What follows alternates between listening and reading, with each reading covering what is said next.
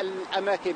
هنا على المستوى الرسمي هناك جهاز المخابرات يقول في بيان له أن هناك مشاريع ربما توسيع رقعة هذه الحرب الروسية على أوكرانيا باستعمال أسلحة محظورة وهناك الحديث عن قنابل قنابل ربما نووية أو ربما صواريخ تحمل رؤوس نووية أو حتى مواد مشعة باستعمال النيران ربما إشعال النيران في الغابات بهذه بهذه المتفجرات المشعة وبالتالي هناك تعويل على الظروف المناخية فيما يتعلق بالرياح وربما نقل هذه النيران إلى مناطق أوسع في غابات أوكرانيا. نعرف أن أوكرانيا بلد كبير جدا. هو يعني مساحته تقدر يعني مساحة فرنسا ونصف.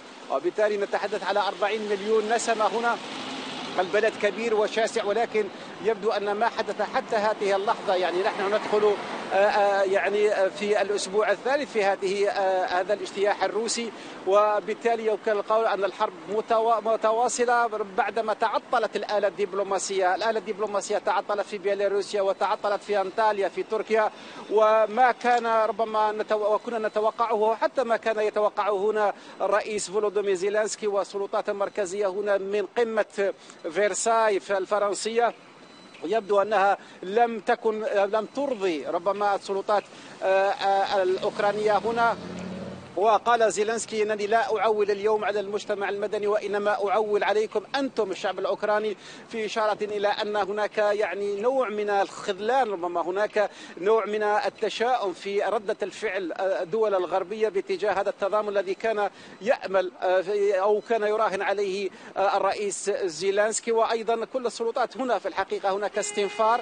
على المستوى الأمني هنا رشيد الفيف بدأت بالفعل في الحقيقة تستنهض وتستنفر كل قواها العسكرية.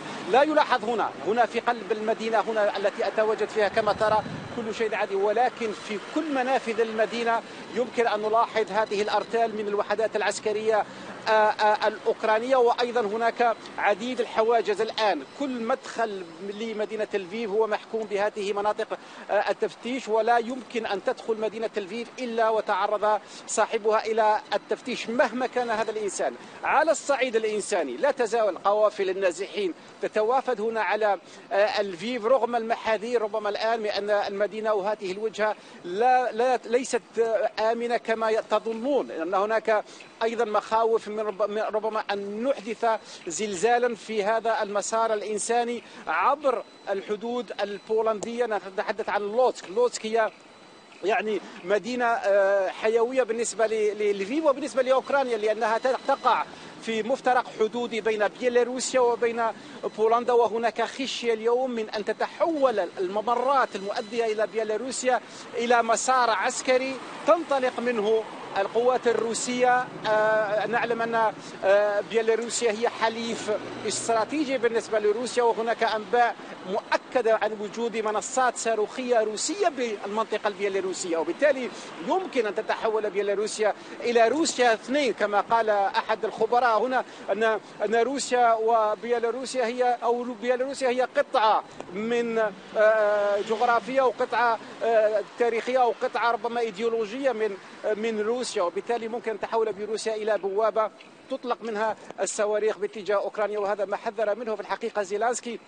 عندما رفض منذ البداية منذ البداية رفض أي تفاوض على الأرض البيلاروسية باعتبارها خزان ثاني ربما للجيش الأوكراني خاصة وأن هناك حديث كبير اليوم على توافد عديد الأجانب عبر البوابة البيلاروسية الأجانب الذين ينخرطون في الجيش الروسي. نتحدث على قوات روسية على قوات إفريقية على قوات من دول أوروبا الشرقية الموالية لروسيا. وبالتالي هذا الزخم من الأعداد التي بدأت تتوافد ربما مساعدة الجيش الروسي في هذا الهجوم الروسي على أوكرانيا.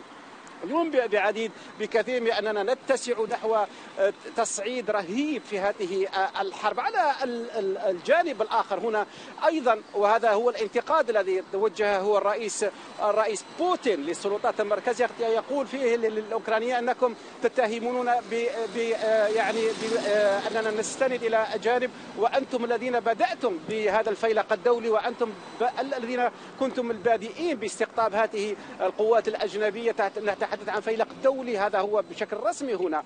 بلفيم وصلت عديد العناصر الأجنبية. نتحدث على عناصر بريطانية على عناصر من دول البلطيق من أيضا من من شمال أوروبا من السويد تحديدا.